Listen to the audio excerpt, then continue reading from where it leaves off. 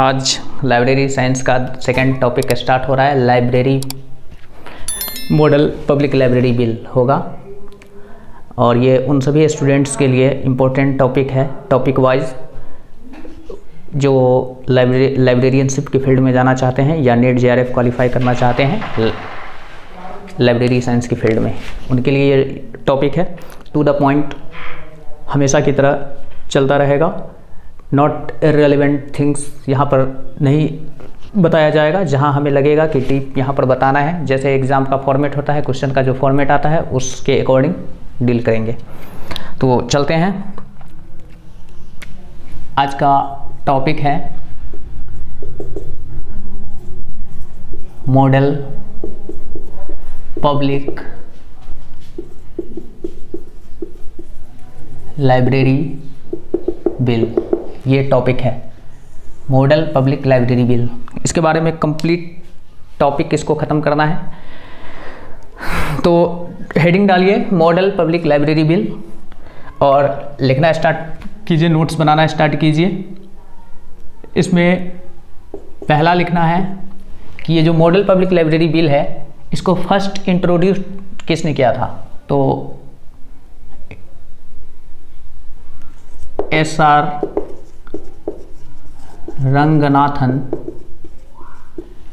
int introduced first introduced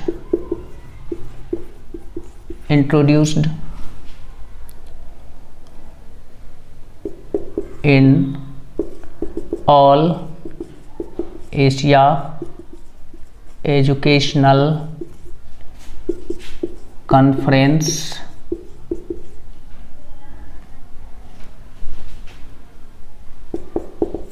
held in 1930 तो इसका पहला पॉइंट है मॉडल पब्लिक लाइब्रेरी बिल से रिलेटेड कि इसको फर्स्टली इंट्रोड्यूस्ड किसने किया था, यानी इससे परिचित किसने करवाया था तो डॉक्टर एस आर रंगनाथन ने कहाँ पर? तो एशिया एजुकेशनल कॉन्फ्रेंस का आयोजन किया गया था 1930 में। कहाँ पर? तो बनारस इन बनारस। बनारस बनारस में बनारस में 1930 में क्या हुआ कि ऑल एशिया एजुकेशनल कॉन्फ्रेंस का आयोजन किया गया था, जिसमें रंगनाथन ने, डॉक्टर एस आर रंगनाथन साहब ने क्या किया तो मॉडल पब्लिक लाइब्रेरी बिल के बारे में परिचित करवाया। यहीं पर ऑल एशिया एजुकेशनल कॉन्फ्रेंस में पहली बार मॉडल पब्लिक लाइब्रेरी बिल से रिलेटेड जो बातें थी, उस पर डिस्कस हुआ और इसके बाद जो है ये आ गया। अब बात करते हैं कि मॉडल पब्लिक लाइब्रेरी बिल अभी तक कितना है, आ चुका है। तो आफ्टर इंडिपेंडेंस दूसरा पॉइंट लिखेंगे। After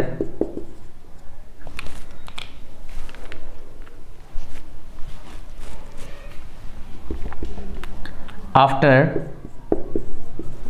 independence after independence six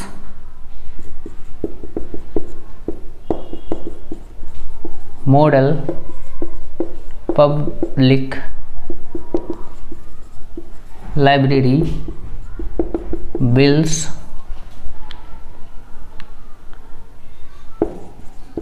have represented represented in India India में अभी तक total six model public library bills से बिल्स को इंट्रोड्यूस कराया जा चुका है। मतलब परिचित जो है बनाया जो गया है, वो six model public library bills अभी तक बन चुका है। आज़ादी के बाद से, जिसमें पहला 1930 ऑल एशिया एजुकेशनल कॉन्फ्रेंस में इसकी चर्चा हुई, बनारस में हुई थी ऑल एशिया एजुकेशनल कॉन्फ्रेंस पहली बार एस आर रंगनाथन ने इसको इंट्रोड्यूस किया। डिस्कस्ड हुई ऑल एशिया एजुकेशनल कॉन्फ्रेंस जिसका आयोजन बनारस में 1930 में हुआ। इसके बाद है आफ्टर इंडिपेंडेंस 1947 ठीक है? 1947 उन्नीस सौ सैंतालीस के बाद क्या हुआ? कि six model public library bills को इंट्रोड्यूस किया गया है अभी तक। अब हम एक एक की बात करेंगे। इसमें होगा क्या? कि कब वह आया? उसके ऑथर कौन थे? किसने स्पॉन्सर्ड किया था? इन विच ईयर इंट्रोड्यूस किया गया? तो इनकी बात करते हैं। तो ये हो गया। चलिए अब डिस्कस कर लेते हैं। Six model public library bill को जो अब तक इंट्रोड्यूस किया जा चुका है। जिसमें पहला है model estate library bill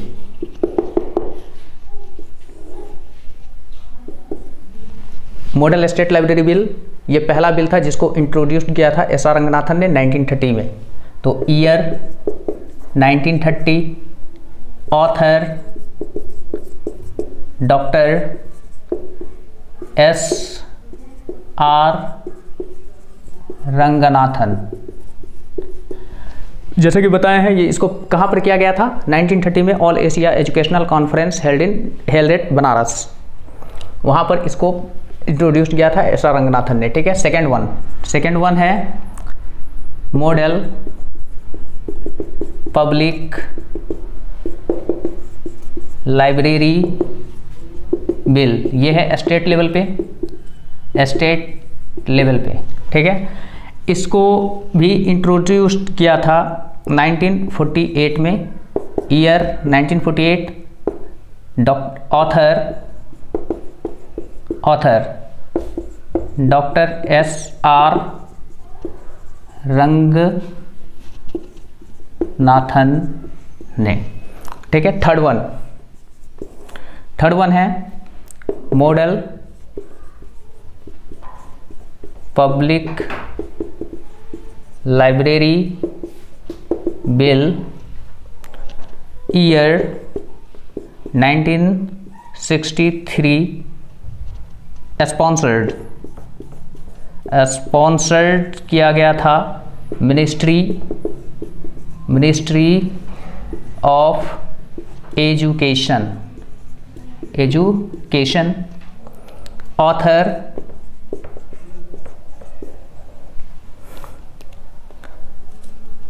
M D M D Sen author का मतलब यहाँ पर है चेयरमैनशिप किसने की थी? मतलब डिफरेंट मिनिस्ट्रियल डिपार्टमेंट ने कमेटी गठित कमेटी को सेटअप किया और उसके अकॉर्डिंग जो कमेटी के मेंबर जो हेड होते हैं, उसके थ्रू जो है रिपोर्ट बिल्ड किया जाता है मेकअप किया जाता है उसके उसके अकॉर्डिंग वो रिकमेंडेशन करता है कि इस बिल में ये होना चाहिए, इस बिल के अकॉर्डिंग ये होना चाहिए, ये प्रोविज़न होने चाहिए, ये रूल फॉर्मेट ऑफ़ लॉज होने चाहिए। तो यहाँ तो हो गया पहला मॉडल स्टेट लाइब्रेरी बिल पहली बार 1930 में इंट्रोड्यूस किया था एस आर रंगनाथन ने कहाँ पर? All Asia educational conference held at Banaras second model public library bill जो था स्टेट लेवल पर, इसको भी डॉक्टर एस आर रंगनाथन ने इंट्रोड्यूस किया 1948 में। तीसरा था model public library bill 1963 sponsored किसने किया था? ये मिनिस्ट्री ऑफ़ एजुकेशन ने किया था। ऑथर थे इसके या मेंबर चेयरमैनशिप किसने की थी? तो एम ने। अब fourth next one is fourth fourth था, ये भी model public library bill year था 1965 sponsored sponsored planning commission planning commission और ऑथर जो थे इनके, वो थे V K R V Rao. Model public library bill ये भी स्टेट लेवल पर ही है। ईयर था 1965 स्पॉन्सर्ड किया गया था प्लानिंग कमीशन के थ्रू स्पॉन्सर्ड का मतलब हो गया कि यहाँ पर इस बिल के लिए जो कमिटी गठित की गई थी, वो प्लानिंग कमीशन के थ्रू की गई थी। ऑथर यानी चेयरमैनशिप जो किए थे, वो विक्के आर वी राव के थ्रू किया गया था। Fifth one fifth model library and information services act इसका जो ईयर था, वो 1989 था। स्पॉन्सर्ड स्पॉन्सर्ड जो किया गया था वो ILA. ILA stands for Indian library association establish 12 सितंबर 1933 तो ये स्पॉन्सर्ड किया गया था इंडियन लाइब्रेरी एसोसिएशन के थ्रू और इसके जो ऑथर थे ऑथर थे, वो थे V V Venkatappa. V Venkatappa.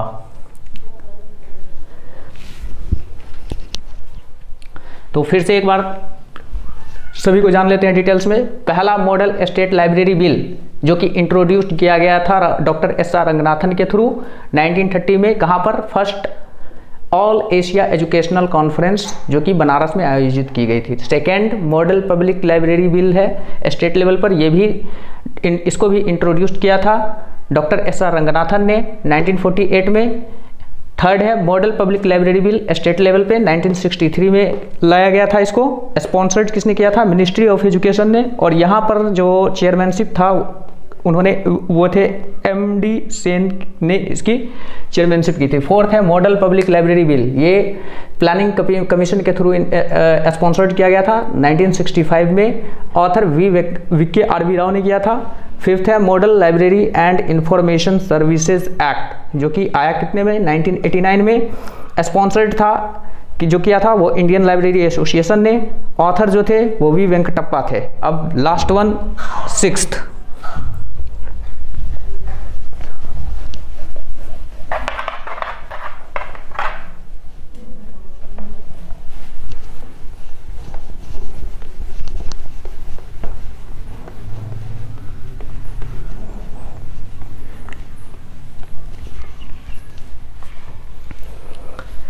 sixth and the last one model public library legislation ये आया इसका जो ईयर था वो 2008 था 2008 author S R Ijari Ijari S R Ijari था, ईयर 2008 था। यहाँ तक ये लास्ट वन है मॉडल पब्लिक लाइब्रेरी लेजिस्लेशन इस नाम से आया था। इसका जो टाइटल था, इसमें ये मार्क भी भी आए है। इसका टाइटल इसने जो एस आर इजारी साहब ने जो रिपोर्ट प्रेजेंट किया गवर्नमेंट के पास, उसका जो टाइटल था a model model for twenty first century. और सबसे मॉडर्न लाइब्रेरी बिल है पब्लिक लाइब्रेरी बिल है, क्योंकि ये 2008 में पास हुआ था। तो इसका टाइटल क्या था? जो एस आर इजारी ने मतलब जिस बिल को इंट्रोड्यूस किया था, जिसका नाम है मॉडल पब्लिक लाइब्रेरी लेजिस्लेशन उसका टाइटल जो था, ये a model for twenty first century था। ईयर 2008 है ऑथर एस आर इजारी हैं। तो यहाँ तक समाप्त हो गया है। अब कुछ नोट करने वाली बात है। और एग्ज़ाम ऑफ़ पॉइंट व्यू से ये काफ़ी इंपॉर्टेंट है V I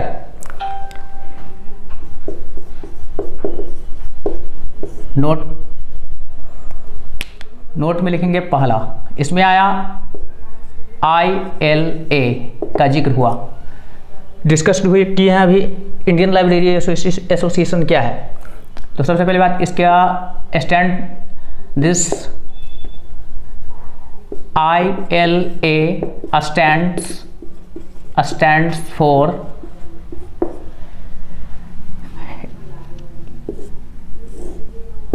Indian Library Association Indian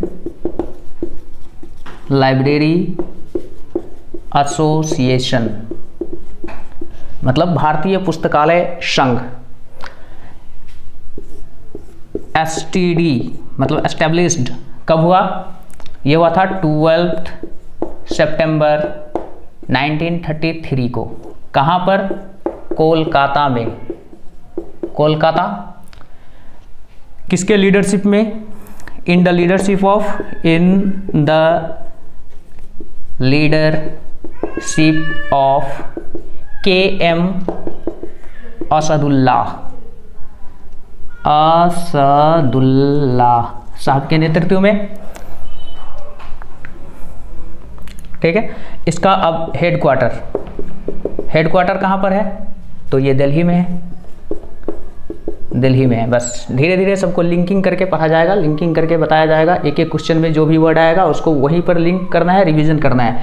तो अभी तक मॉडल पब्लिक लाइब्रेरी बिल में देखे हैं कि मतलब फिफ्थ में कि इंडियन लाइब्रेरी एसोसिएशन ने स्पॉन्सर्ड किया था तो Indian library association stand for पूछता है हमेशा कि इंडियन लाइब्रेरी एसोसिएशन इसका फुल फॉर्म होता है? हिंदी में इसको कहते हैं भारतीय पुस्तकालय संघ। स्थापना हुई 12 सितंबर उन्नीस को। और किसके लीडरशिप में? तो के एम असदुल्ला कहाँ पर? कोलकाता में। और प्रेजेंट में इसका जो हेडक्वार्टर है वो दिल्ली में है। अभी इसमें बहुत सारी चीज़ें हैं ये बहुत लंबा है। अभी थो, थोड़ा थोड़ा करके ही इसको एज इट इज़ नोट्स में लिखते चले जाना है। अब बात करते हैं सेकेंड सेकेंड नोट की बात करते हैं। इसमें पहला जो first model estate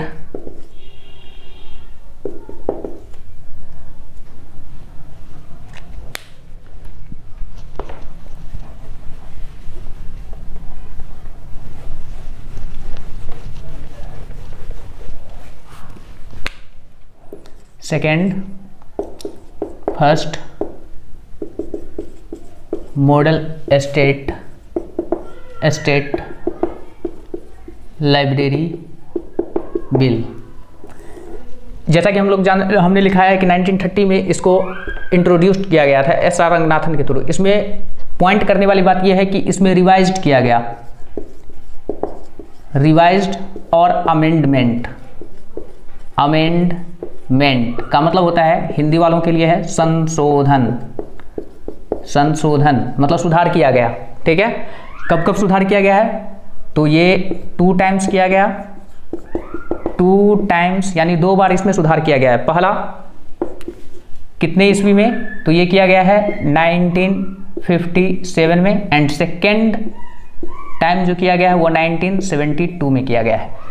कहने का मतलब ये हो गया कि ये काफ़ी इंपॉर्टेंट है। नोट्स में जो भी लिखाएँगे वो इंपॉर्टेंट है। First model state library bill को इंट्रोड्यूस किया था डॉक्टर एस आर रंगनाथन ने 1930 में। इसमें दो बार सुधार किया गया। पहली, पहला फ़र्स्ट टाइम सुधार किया गया 1957 में। सेकेंड टाइम इम्प्लीमेंट किया गया अमेंडमेंट किया गया 1972 में। थर्ड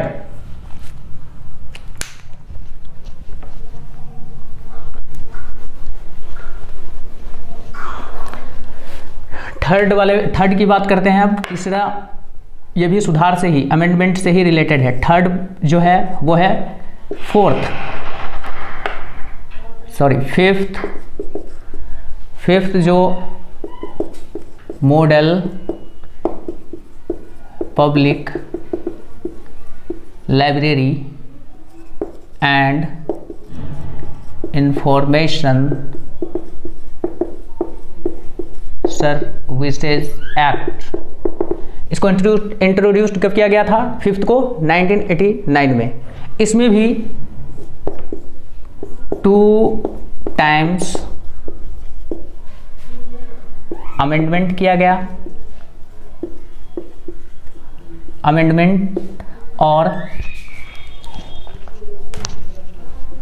रिवाइज्ड रिवाइज्ड किया गया था। फ़र्स्ट टाइम कब किया गया? 1995 में। एंड सेकेंड टाइम 2005 में। बस, ये नोट्स था इसमें। पाँचवा, जो कि model public library and information services act था, जिसको 1989 में इंट्रोड्यूस किया गया था। टू टाइम्स इसमें अमेंडमेंट हुआ रिवाइज किया गया। पहली बार 19 उन्नीस में दूसरी बार 2005 में इसमें सुधार किया गया। तो आज का टॉपिक यहीं पर समाप्त होता है।